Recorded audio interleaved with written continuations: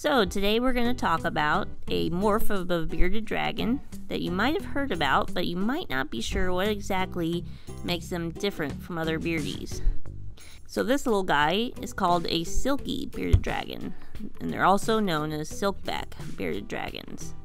So, what makes this guy different from all the other bearded dragons is the fact that he has no scales at all.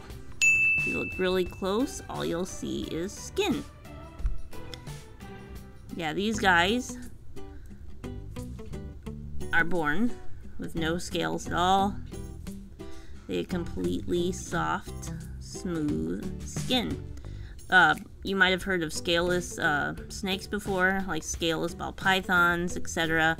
Uh, they still have, um, I think they still have like belly scales, and some do have kind of uh, a few scales on them, but these guys, they have zero scales. Now this guy, he looks a little bit different because he's actually a translucent as well. So he's kind of like two morphs all rolled up into one. In today's video, we're going to talk about the genetics of these guys and what causes a silky bearded dragon to occur.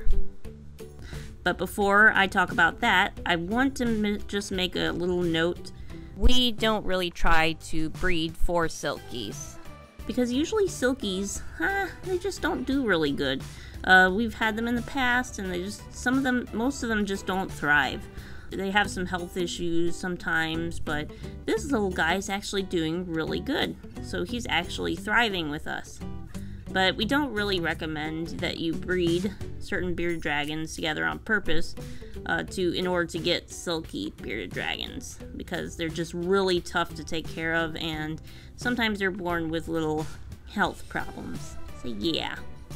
So yeah, but this guy he's doing really awesome. Alright, so now we're going to talk about what actually causes a silky bearded dragon to happen. Now, you see this big girl we have here? She is what's called a leatherback bearded dragon, which means she has reduced scaling. Now, when you breed two leatherbacks together, you have a 25% chance of getting silky babies, which means that basically 25% of the clutch, one fourth of the clutch, uh, will end up being silky babies that have no scales at all. Because when these guys mix together, the the gene for hardly any scales, the reduced scaling, uh, it might double up and it might form a silky bearded dragon, which has no scales at all. Then up here, you see that we are breeding these guys specifically. We have a leatherback female and a normal male. Now, normal males, um, if you breed normal to a leatherback, you will never get silkies. Uh, if you because these guys have the gene for total spikiness, they don't have any reduced scaling genes in them, so you don't have to worry about getting silkies with these guys, which is actually a good thing since silkies don't usually do very well. That is why we only have male normal bearded dragons because we have lots of leatherback females and we don't want to have a chance of getting silky babies.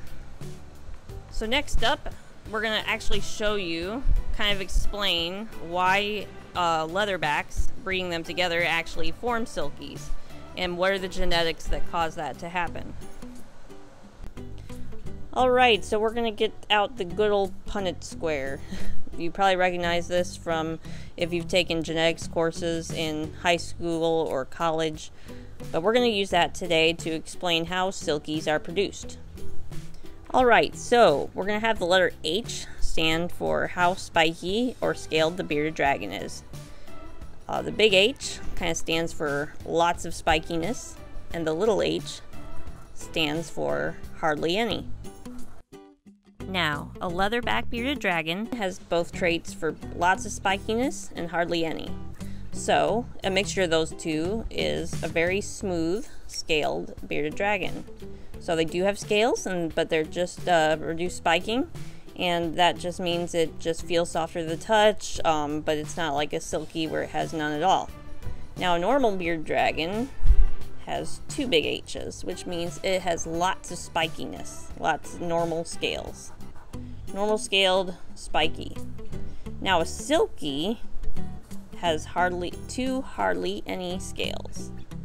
And when those go together, that means that they have no scales because they have such reduced scaling that the scales aren't even there. So, imagine that you breed two leatherback bearded dragons together. You put a big H here, little h here. We'll say that's the mom. Big H here, little h here, and that's the dad. So they get half of their genes from each parent. So when you have a clutch of babies from them, let's see, it gets the H and a big H. Those will be the normals because they have double the spikiness. And then when you mix these two together, you get leatherbacks.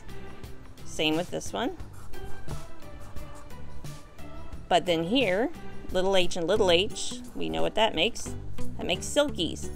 So when you have a clutch of babies, uh, a half of them, two fourths, should be leatherback. One fourth will be normal. And one fourth will be silky. So that's basically how it works. So if you had 20 babies, you would have like five silkies, five normals, and 10 leatherbacks. So yeah, I know that's I know some people might find that kind of confusing, but that's just basically how the genetics works of these guys as far as their scaling goes. Now this little guy isn't actually produced by our female bearded dragons. I think they were brought uh, they were from a clutch that was uh, maybe a customer's uh, from eggs dropped off. But the one thing about these guys is that they are a lot of work. Uh, these guys, they sometimes their eyesight isn't the best, and they can't catch catch crickets as well. Uh, also, they because their skin is so fragile and so sensitive, we usually have to put uh, skin cream on them, like moisturizing cream on them, a special cream that is odorless and everything. Uh, we have to apply that to them every other day or so.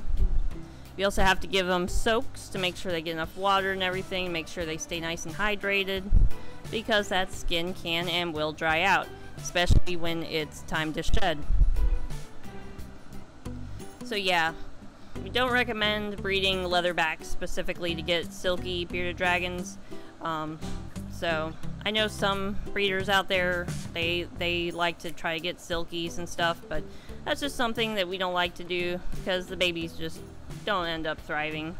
So, yeah, but this little guy, he is still doing good. And, uh, yeah, that's about it as far as what is a silky and how do you get one.